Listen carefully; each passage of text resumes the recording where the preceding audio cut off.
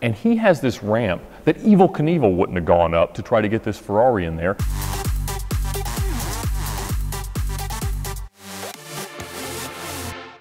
So anytime you're dealing with cars, a frequent demand is to get them moved around the country. And that means that you've got to deal with car shippers. And there's never an industry that I've seen that is so strange and incomprehensible as the guys that ship cars. And it's the only industry where I've ever seen where the people that do it professionally become worse at it over time.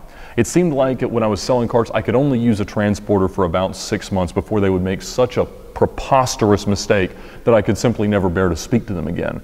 And I didn't understand it until I started to look at the economics of it. Because the obvious response to most people is to say, well, if none of these guys are good at it, why don't you just get your own rig and hire your own driver and have them move all the cars? Because certainly the, the, demand is sufficient. I mean, we were shipping cars almost every day at Motor Cars of Georgia. But the problem is when you look at the rates that you're being charged. Because to do it all yourself and to have insurance and do it the proper way and have a qualified driver, you're going to spend about $1.50 to $2 a mile. But if you look at the rates that you actually get charged, it's 50 to 80 cents a mile. And so there's no way to really make a good business out of it, and that's what people come to find. So they start in it and they charge you, you know, what they see as being the average or what they could do in terms of market research, but then they start to find out that, well, if I'm going to do all this stuff, I can't make money. So I've got to start cutting corners and going too fast and not taking my time and not being careful, and that's when bad things happen. At the dealership, we had access to these load boards and these professional services that we could essentially use to very specifically request a car be moved from point A to point B at a certain time. But most shipping companies don't want you to do that because they don't want to be held to that tight a schedule. So, as a consumer or as someone like I was with the rental company without access to all that, if you needed a car at a specific place at a specific time, that was a very difficult thing to achieve. So, what I would have to do is find a friend that was a dealer or something that could get me onto something like Central Dispatch. But I had a customer who was an international guy, but he came to the US a few weeks a year and he wanted to essentially have on demand access to a Ferrari wherever he was in the country. And as a rental company, I kind of had the ability to do that. So he essentially paid me year round for access to a specific car and he wanted it in Dallas for this conference he was going to, and he told me exactly when he wanted it delivered. And I had plenty of lead time. This seemed like a doable thing. And so I found a guy who said, Yes, I can do that. I'll pick it up here on this date and then I'll get it there. And I had to be out of town the day that it was coming to be picked up, and so I left it with someone who I trusted. So I came to find out a couple days later that they did come to get the car, but they had barely any idea how to make it move. They didn't understand how the immobilizer worked, and they had ended up, you know, finally being able to get it on the truck. So I was like, All right, well, great. It'll at least be headed in that But I found out a couple days after that that the truck had broken down, and it was somewhere in Mississippi. But the hydraulics for the lift gate on the back that was used to load low ground clearance cars had broken. So my Ferrari is literally locked in this box, and this guy that's expecting delivery at a very specific time at a very high price was not going to get his car. So I'm scrambling trying to figure out can we hook another truck up to it and get it out that way? Can I fly out there and drive it to him? What can be done? And the answer is nothing. In most cases, when things start to go off the rails, they're useless to find any reasonable solution and they just expect you to wait on them. And you really don't have any options in most of those cases.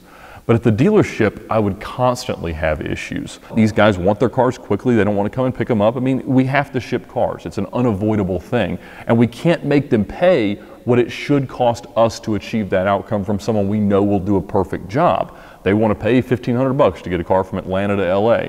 And that can be done and you know it probably has a 50 to 60% success rating of happening without any other incident. And we'll tell them that, but you can't talk them out of it. And so we'll have them sign that, you know, this person is taking delivery on your behalf. And we would always be very transparent about how the process worked, but that never stopped the weirdest things from happening. And just because someone knows how to load a car and they've driven, you know, 25 different of this particular car doesn't mean they really know how to treat it. And making it move and getting it on a truck is not the same as understanding what it takes to achieve longevity of consumable parts, particularly clutches. And I remember we had a guy pick up an 07 911 Turbo, and he's taking up this super steep ramp, and I see him start to lurch and go back and forth and hear the car just revving and revving, and obviously eventually I start to see it just bellowing smoke but by the time I was out there, he had already completely cooked the clutch. So we had to call the customer and explain that we're going to have to get this trucking company to try to pay for a clutch, which obviously they're going to make us sue them over. And it was just an unending nightmare. We had another guy come to pick up a Ferrari F430. It was an F1 car, and he thought he could just drive it like an automatic. But he comes back about 10 minutes later and says, the car won't go into gear.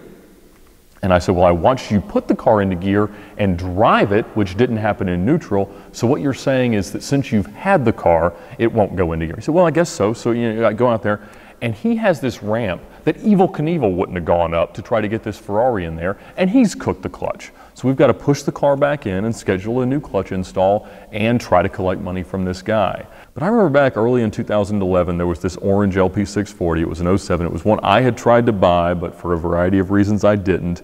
And I was kind of heartbroken to see it leave. But we had sold it to this dealer in Texas. And he kept sending these cheap, useless truckers to come and pick the car up. The first guy that showed up had just a three car wedge trailer. And he had like an Econoline van and some old car, and he was trying to put this Lamborghini on there. And we looked at it, and I pulled the car up next to it and signed the bill of lading that it was no longer my responsibility. And I told him, I said, that car is not going to go up that ramp. He said, Oh, yeah, I do it all the time. And I said, Okay. So he gets a running start and just gouges the carbon fiber bumper onto the ramp and cracks both sides of it. I said, I told you. He's like, Oh man, it's all right. I'll, I'll, I'll get it fixed once I get there. He says, You know what? I think I can get it on backwards. And I said, You do understand that angles work in the same size in both directions. He says, No, no, it'll work going backwards. So he turns it around and backs up and drags the front bumper almost off the car in his attempt to get it back on. So finally he concedes that, all right, I can't load this thing. And I've videoed all this stuff because I see the carnage that's about to unfold and I send that to the person who's bought the car. So a couple days later, we get another guy show up, and he doesn't even speak English, but he's got a 10 car open hauler, and uh, he says he's here to pick up a car, and he shows us the VIN. And I recognize that it's that Murcielago. So I pull it around and show him the car, and we walk around and he said, No, no, no, I, I can't take this car. And so he just left. He said, I'm not going to try it. I know I can't get it on there. So that was at least a responsible decision, but it set this guy back. And so a few days later, another guy shows up with a similarly useless trailer, but at least this guy had enough wood to get it on there. So the third time was a charm and he got it shipped off. But the car was, I mean, at least had $10,000 worth of damage, if not $25,000 worth of damage by the time it had left. So I had sold a barely used Aventador to Lamborghini Miami, and they had used Central Dispatch or something like that to send a truck up here. And I called them, and I knew they needed the car quickly, but I wasn't wildly impressed with the person they'd sent. He actually showed up in a box truck and he was going to pick up this $400,000 Aventador. And I called their sales manager and I said, hey man, this is the guy that's here. Do you want me to let him have the car? I don't think he can get it in there. He said, I've got to have the car tomorrow. He said he'll do it. It's, it's on him. He's got insurance. And I asked him, I said, what is your insurance limit? And they always say a million dollars, but they have a million dollars in liability coverage. They usually only have a hundred thousand or maybe 250,000 in cargo limit. So there was no way this guy could afford to total this car with his insurance. But again, I asked, I said, are you sure you want me to hand him these keys? And he said, yes, let him have it. And I watch him get on that ramp stick his head out the driver's window and drive the thing up. And of course, he rams it into the other side of the truck with the side he can't see. Cracks the bumper, cracks the headlight, and damages the front fender. And he's like, oh man, oh man, don't tell them. I'm like, they're a 10 hour drive from here. What on earth are you going to do to keep them from seeing this damaged car? He's like, I've got a guy between here and there. He's going to fix it. I said, okay. Okay, so he proceeds to load it back up, and I call obviously the guy immediately and send him some pictures and say, This is what just happened to your car. He's like, Oh man, all right, well, we'll get it fixed when he gets down here. But when he called, the guy already was denying that there was any damage to the car. And so he had to demand that the car be there on time so he wouldn't have any chance to go and find someone to inadequately repair it. I mean, we used to have guys call us that had just had their cars shipped, and they would be looking through and really excited about their brand new Lamborghini, and they'd open the glove box, and there'd be a valet ticket from a strip club where a transporter had gotten the car out, driven it to a strip club at night, and had a good time, and then gotten back in and loaded it back in the truck. So I had to have the worst heart to heart conversations with a whole lot of truckers explaining to them why we would never be using them again because the outcomes that they had were just simply unacceptable. And the process of finding them is similarly miserable. At one point, in fact, I had to modify the way that I would post cars as being available to, for pickup.